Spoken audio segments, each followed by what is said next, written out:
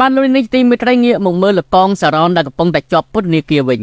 គ្រូសាររបស់លោកអះអាងថាលោកកងសារ៉នដែលកំពុងតែជាប់ពន្ធនាគាររឿងរិះគន់គណៈបកកណ្ដាលអំណាចអសមត្ថភាពទប់ស្កាត់លំហូរបរដ្ឋវៀតណាមនៅកម្ពុជា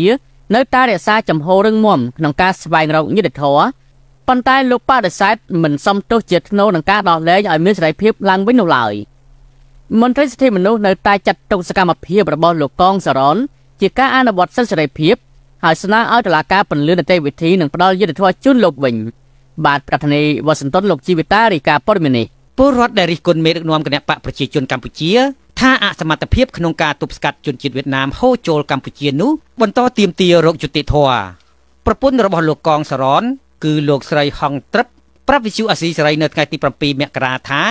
លោកស្រីតែងចូលសួរសុខទុក្ខប្តីនៅក្នុងពន្ធនាគារខេត្តបន្ទាយមានជ័យ2ទៅ3សប្តាហ៍ម្ដង គឺនៅពេលលោកស្រីសន្សំបានប្រាក់បន្តិចបន្តួចពីការលក់នំគណៈប្តីលោកស្រីកំពុងកើតជំងឺលើសឈាមដោយត្រូវការលេបថ្នាំជាប្រចាំលោកស្រីឲ្យដឹងថាបើទោះជាអាញាធននៅតែបន្តអូសទាញឲ្យប្តីលោកស្រី live វីដេអូសុំទោសជាសាធារណៈយ៉ាងណាក្តីក៏មកដល់ពេលនេះលោកកងសរននៅតែពុំព្រមធ្វើតាមដោយរក្សាឆន្ទៈនិងស្មារតីរឹងមាំជាធម្មតាដដែលពីព្រោះលោកយល់ថាគ្រាន់តែបញ្ចេញមតិរឿងពិតក្នុងសង្គម ដោយមិនបានប្រព្រឹត្តកំហុសដោយការចោទប្រកាន់របស់តុលាការទេ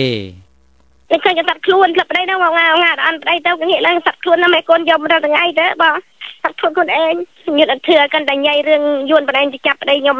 ជិបពន្ធនាគារខ្ញុំមិនរយុទ្ធធឿទេបងគេញ៉ៃទាំងពេះមិនខុសអីកាន់តែញ៉ៃប៉ុណ្ណេះឯងគៀបសង្កត់ឯងលោកកងសរនត្រូវបានអាជ្ញាធរចោមរួមចាប់និងឃុំខ្លួនដាក់ពន្ធនាគារកាលពីថ្ងៃទី25វិច្ឆិកាឆ្នាំ2023 បន្ទាប់ពីតុលាការខេត្តបន្ទាយមានជ័យផ្តន្ទាទោសដាក់ពន្ធនាគារចំនួន3ឆ្នាំពាក់ព័ន្ធនឹងទស្សនៈនយោបាយរបស់លោកដែលលោកបានបង្ហោះក្នុងគណនី Facebook របស់លោកអំឡុងពេលយុទ្ធនាការបោះឆ្នោតកាលពីខែកក្កដាឆ្នាំ2023នៅក្នុងវីដេអូ live ផ្ទាល់នោះលោកបានចោទជាសំណួរថា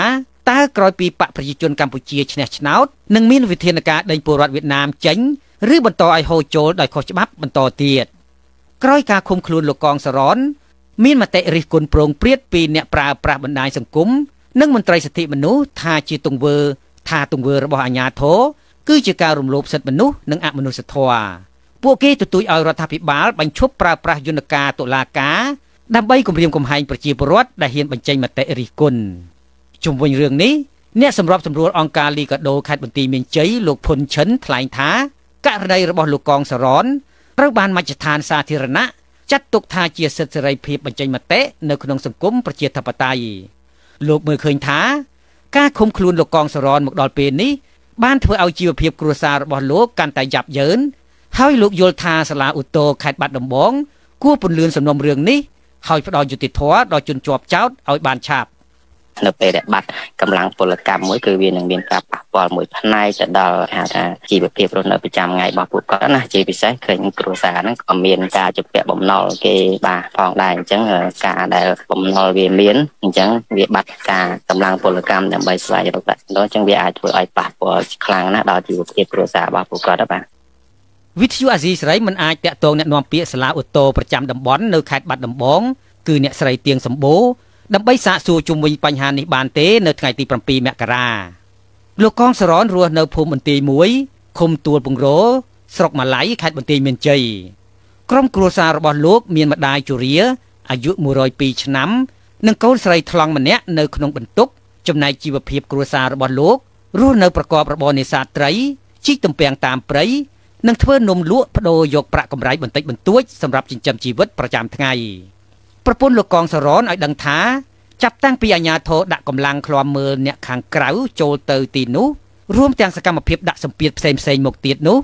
បានកាត់ផ្ដាច់ទំនាក់ទំនងរវាងគ្រួសារលោកស្រីនិងប្រជាពលរដ្ឋខ្មែរទាំងក្នុងស្រុកនិងក្រៅស្រុកដែលអាណិតនឹងជួយថវិកាដល់គ្រួសាររបស់លោកស្រីកន្លងមកបញ្ហានេះបានធ្វើឲ្យគ្រួសាររបស់លោកស្រីកាន់តែមានការលំបាកទាំងសេដ្ឋកិច្ចទាំងផ្លូវចិត្តដូច្នេះលោកស្រីអំពាវនាវដល់ពលរដ្ឋខ្មែរដែលស្រឡាញ់យុត្តិធម៌ទាំងអស់ បន្តជួយឧបត្ថម្ភដល់គ្រួសាររបស់លោកស្រីក្នុងគ្រាដ៏លំបាកនេះខ្ញុំជីវិតាអាស៊ីសេរី